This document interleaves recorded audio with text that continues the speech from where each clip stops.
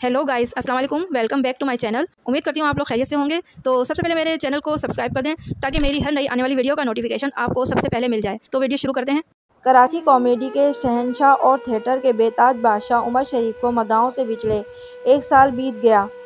Express news के मुताबिक stage ड्रामों के बादशाह मिजाइया अदाकार उमर शरीफ गुजशत वर्ष 2 अक्टूबर को आर्जा कल्ब में मुब्तला होने के बाईस छियासठ बरस की उम्र में जर्मनी में दौरान इलाज, इंतकाल कर गए थे।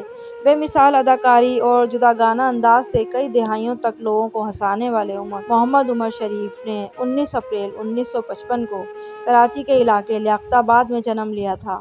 स्टेज ड्रामों के बेताज बादशाह ने 1980 में पहली बार ऑडियो कैसेट के ज़रिए ड्रामे रिलीज़ किए, जिन्होंने पाकिस्तान के साथ साथ पड़ोसी मुल्क भारत में भी कामयाबी के झंडे गाड़े। उमर शरीफ के मकबूल ड्रामों में उन्नीस सौ नवासी में रिलीज़ होने वाला मशहूर मिजाइया ड्रामा, बकरा किस्तों पर part one, two, three, four, five, और बुढ़ा घर पर है। मेरी भी तो ईद करा दे। मामू मज़ाक मत करो, और दीगर शामिल हैं।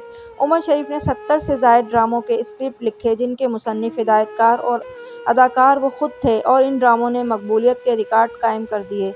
भारत के मशहूर मिजाइया अदाकार जॉनी लीवर और राजू श्रीवास्तव ने उमर शरीफ की मिजाइया अदाकारी से मुतासर होकर इन्हें the god of Asian comedy का लकब दिया था। वाजह रहे कि सन 2017 में उमर शरीफ के इंतकाल से मुतालिक झूठी खबरें सोशल मीडिया पर गर्दिश करने लगी थी, जिसके बाद इनके साहबजादे जवाद उमर ने खबर की तरदीद करते हुए बताया था कि उमर शरीफ हयात और तंदुरुस्त हैं। बाद सितंबर 2021 में उमर शरीफ एक मरतबा फिर मौत से मुतल झूठी खबरों का शिकार हुए।